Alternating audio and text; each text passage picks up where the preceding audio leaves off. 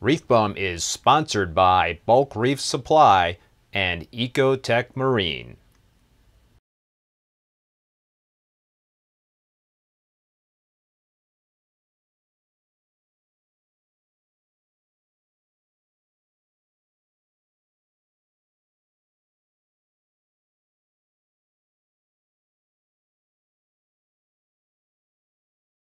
All right. So what I'm hearing from you is that you're not chasing pH. You, you know, you, you believe pH is important, but you're more focused on. Yeah, it is important. you're you're more focused on the uh, the alkalinity. What um, what alkalinity range are you? Um, do you seek a certain range, or does your systems just kind of settle in within a certain range?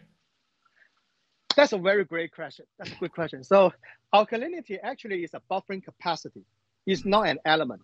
So alkalinity, uh, when you have sufficient amount of uh, alkalinity level, just means that you have uh, sufficient amount of uh, bicarbonate, sufficient amount of baking soda available for your coral.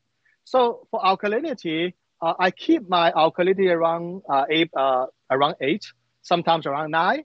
So alkalinity, as long as it is between seven to eleven, at the convenience store, it really makes not much difference. Seriously, I I remember I read an article about uh, the study of alkalinity versus Acropora growth. It basically is really not much difference at all. So if you drop below seven, that actually will create stability issue because the, your system, uh, the, the the bicarbonate content is so low, and then the buffering capacity actually drop. So your stability of uh, in your tank actually lower. Um, and of course, that at the same time, there there are smaller amount of bicarbonate carbonate available to the coral. So uh, from that study, I, I, I, I read it basically make not much difference at all.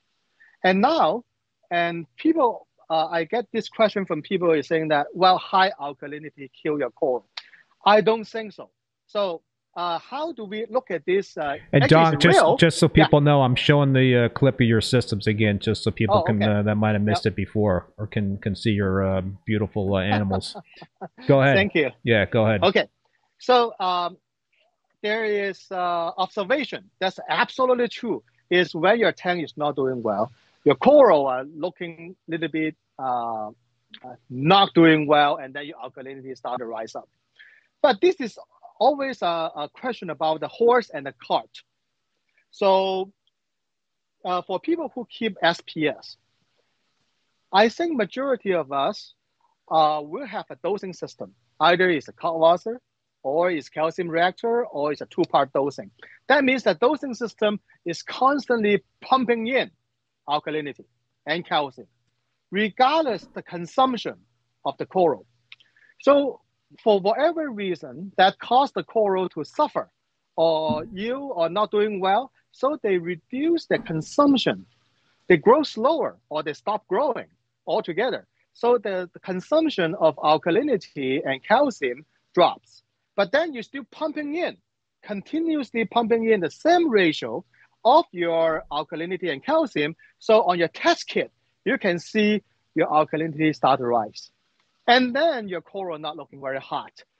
So that is uh, the the result. That reason is that because your coral is not very hot to begin with, that's why they uh, consume less of alkalinity, and then your dosing equipment are still pumping in alkalinity, and then you see the alkalinity spike. So this is the sequence of event that happen.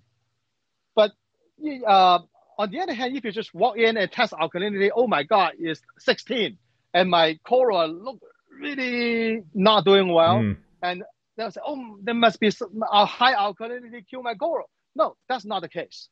It's the other way around.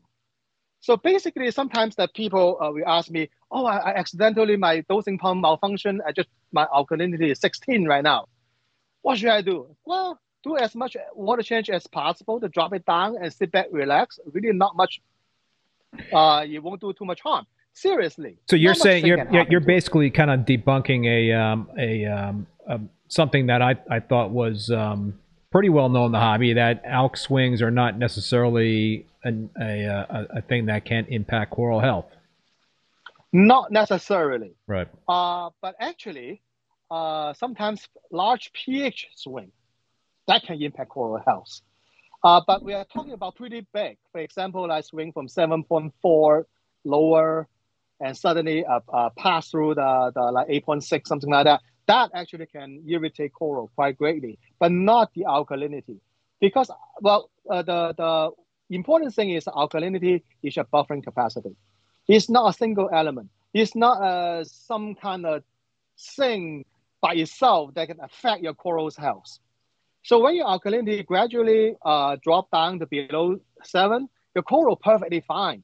They just uh, uh, calcify less, grow slow. They're perfectly fine. I have a friend who has uh, green slimer growing out of the water. And then he really I had that happen to me. Yeah. And, and the thing that uh, I test his alkalinity, six.